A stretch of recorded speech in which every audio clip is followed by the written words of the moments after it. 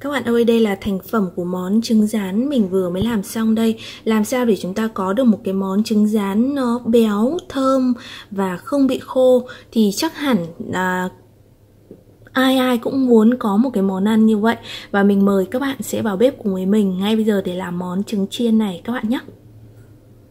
Các bạn ơi, hôm nay thì mình sẽ vào bếp để à, chia sẻ với các bạn một cách để chúng ta có thể tráng trứng được rất là nhanh và ăn không bị khô cũng như là nó còn có cái độ béo mà các nguyên liệu chúng ta rất dễ để chuẩn bị để có được một cái món ăn ngon.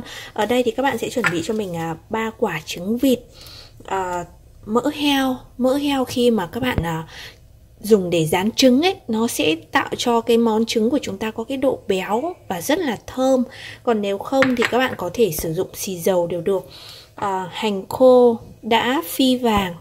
Đó nó sẽ tạo cho món ăn này một mùi thơm rất là đặc trưng và ngon lắm. Không biết là các bạn có thích ăn cái hành phi này giống mình không? Một chút hành lá à, thái nhỏ các bạn nha.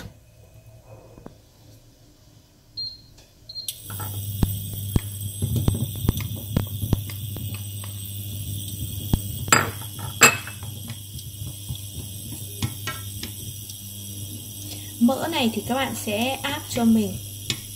Đến khi cái phần top nó ra được hết mỡ, thì các bạn sẽ dừng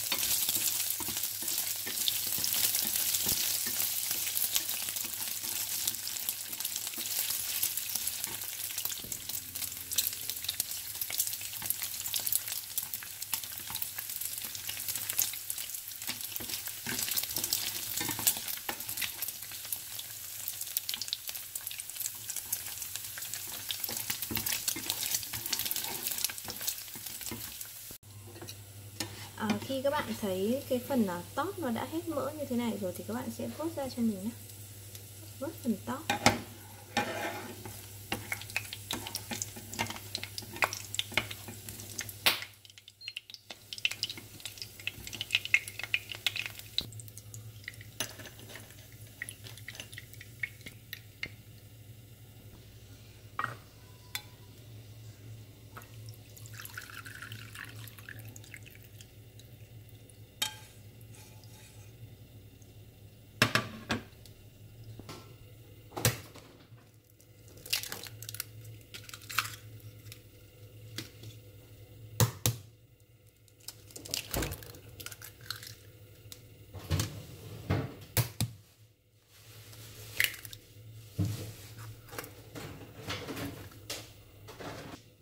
Bây giờ các bạn sẽ nêm gia vị cho mình nhé Các bạn sẽ thêm vào đây cho mình một chút xíu bột ngọt, Tùy à, khẩu vị của mỗi gia đình.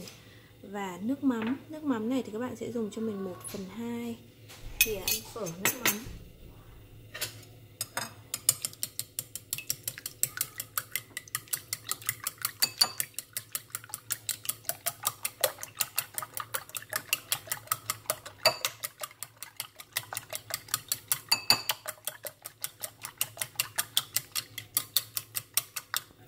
Các bạn đánh để à, lòng đỏ và lòng trắng nó tan tan đều vào với nhau như thế này. Kỹ một chút để phần gia vị được tan hoàn toàn. Bây giờ thì các bạn sẽ dùng luôn cái chảo mà chúng ta vừa mới chiên phần mỡ. Sau đó thì các bạn sẽ thêm vào đây cho mình khoảng 2 muỗng dầu ăn. À cái mỡ heo mà chúng ta vừa mới chiên xong á bật bếp lên và để chảo à, nóng già riêng với cách chiên này thì à, cái thời gian chiên trứng nó chỉ rơi vào khoảng độ à, tầm từ à, 1 phút rưỡi đến 2 phút là trứng sẽ chín. Cho nên là nếu như mà các bạn mà muốn trứng chín kỹ thì các bạn sẽ chiên cho mình khoảng tầm 3 phút là trứng sẽ chín hoàn toàn các bạn nhé. Các bạn sẽ để cho phần mỡ này nóng già lên sau đó thì các bạn sẽ cho phần trứng vô nha.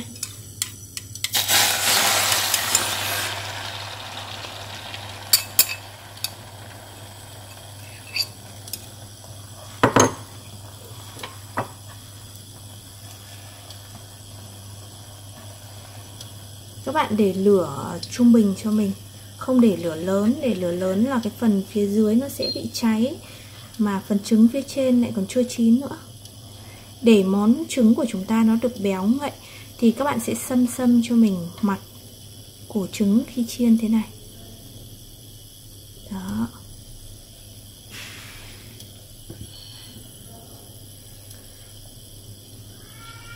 Khi chiên trứng thì chúng ta không đậy vung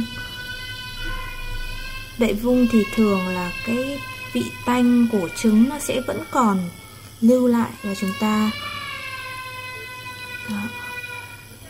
Các bạn xâm xâm một chút như thế này nha. Chiên trứng nhanh lắm.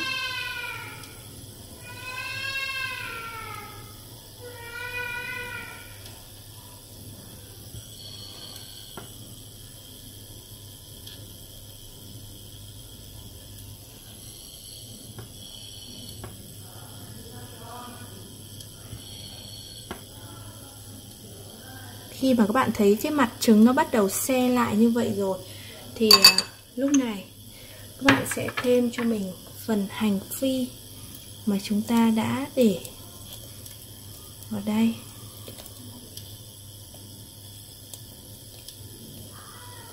Các bạn cho lúc này để cái phần là hành phi nó bám được vô trứng nha. Đó. Các bạn chia đều ra một chút.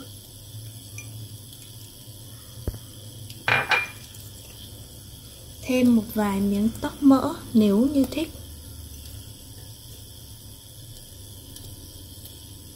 Đó.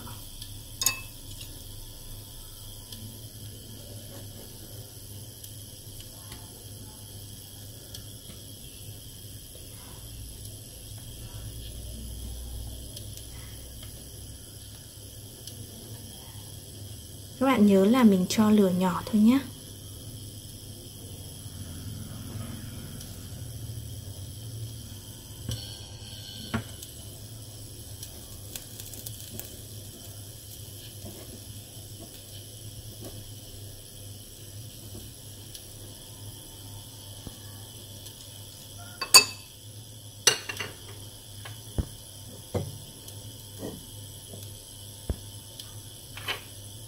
khi các bạn thấy cái phần trứng nó bắt đầu khô lại hết như vậy thì thêm một chút hành hành lá ở phía trên.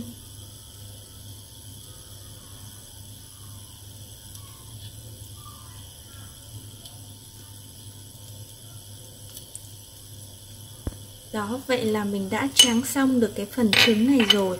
Rất là thơm và béo. Lúc này thì các bạn sẽ tắt bếp và cứ thế này chúng ta nhẹ nhàng đưa ra chảo. Như vậy là đưa ra một cái đĩa.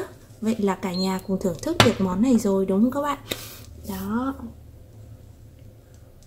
Và mình xin kết thúc video ở đây nha. Hẹn gặp lại các bạn ở trong các video mới nhất của mình các bạn nhé.